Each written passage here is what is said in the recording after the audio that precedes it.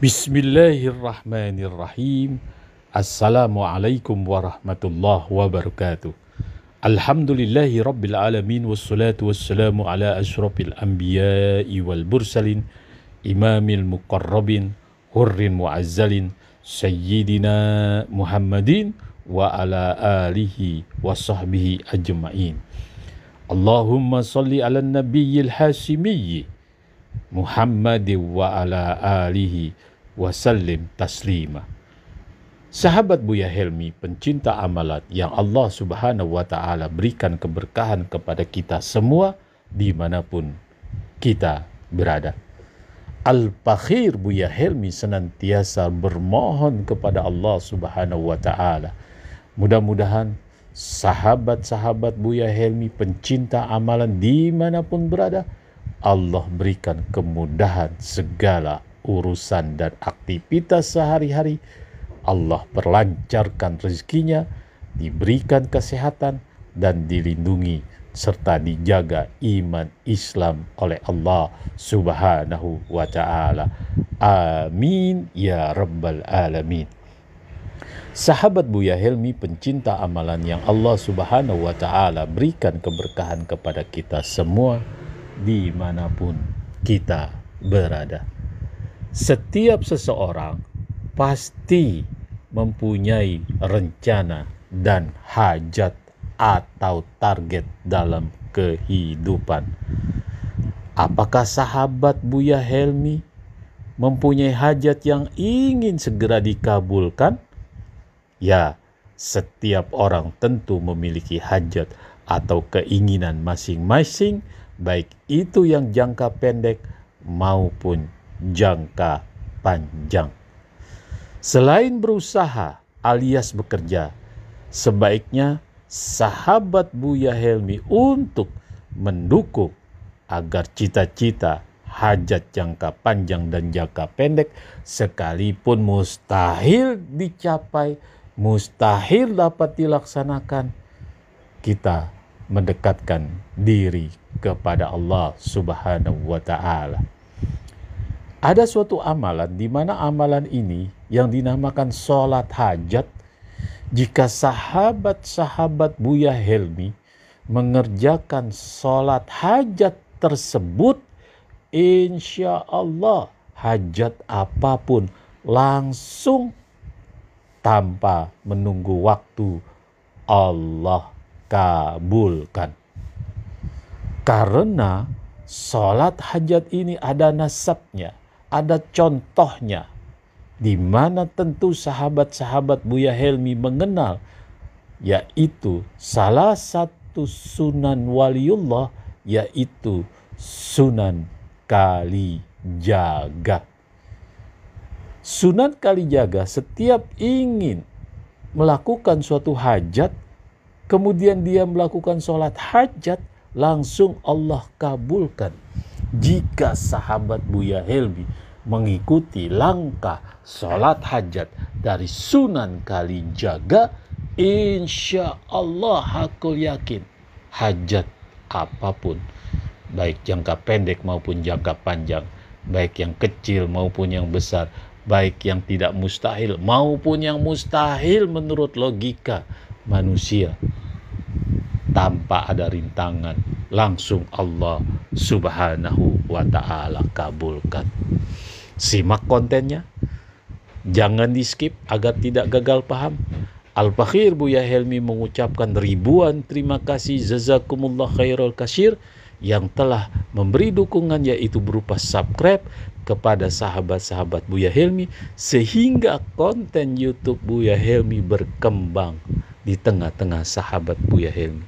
Yang belum dengan keikhlasan hati Al-Bakhir Buya Helmi mengetuk hati nurani sahabat Buya Helmi untuk selalu mendukung konten amalan dakwah di channel YouTube Buya Helmi.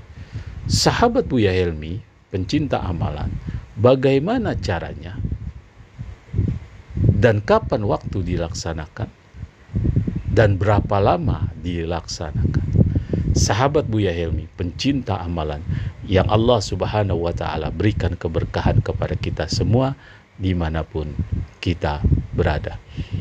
Adapun waktu sholat hajat dilakukan yaitu sekitar jam 2 dan maksimal jam setengah 4. Gunakan sholat tahajud dulu dua rakaat, lalu sholat minta ampun, sholat taubat, baru kita melakukan sholat hajat. Dua rakaat, dua rakaat. Jadi dua kali sholat hajat dalam satu malam tersebut. Berapa lama atau berapa kali atau berapa hari minimal Anda melakukan sholat hajat tersebut tiga kali maksimal tujuh hari. Jika dalam waktu sebelum tiga hari atau sebelum tujuh hari hajat Anda sudah dikabulkan oleh Allah, tetap lakukan terus. Sahabat Buya Helmi, pencinta amalan, yang Allah Subhanahu wa Ta'ala berikan keberkahan kepada kita semua di mana pun kita berada. Caranya mudah. Lakukan sholat hajat yang pertama dua rakaat. Rakaat pertama membaca surat Al-Fatihah sebanyak sepuluh kali. Mohon maaf, lakukan sholat hajat lakukan sholat hajat. Caranya adalah sebagai berikut. Sholat hajat ini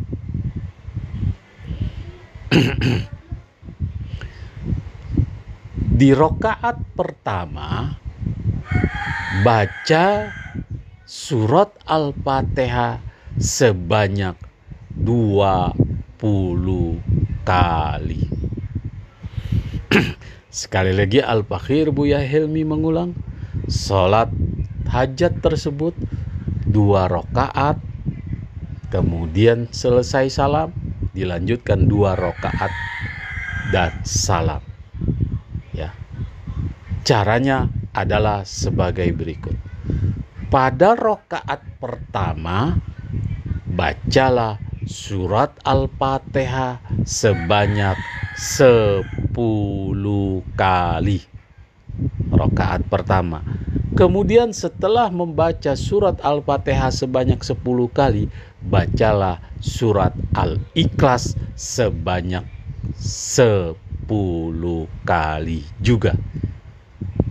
Sahabat Buya Helmi, pada rokaat kedua, bacalah surat Al-Fatihah sebanyak 20 kali dan surat Al-Ikhlas sebanyak 20 kali.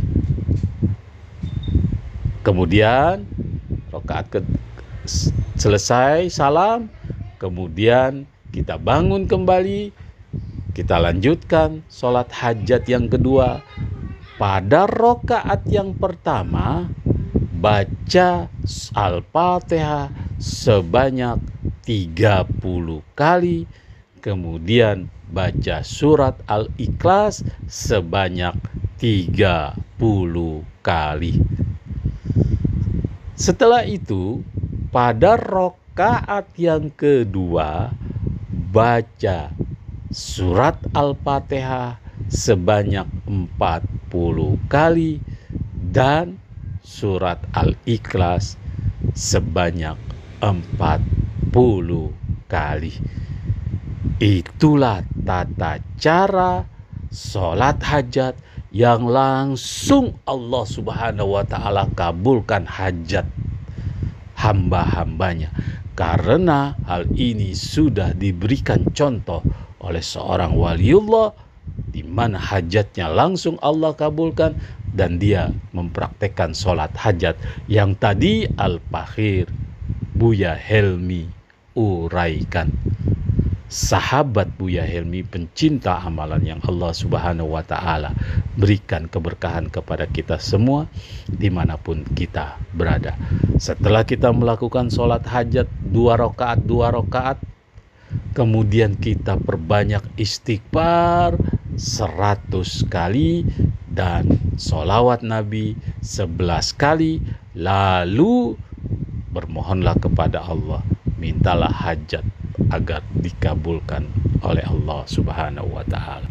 Karena amalan ini adalah merupakan amalan yang nasab yang jelas.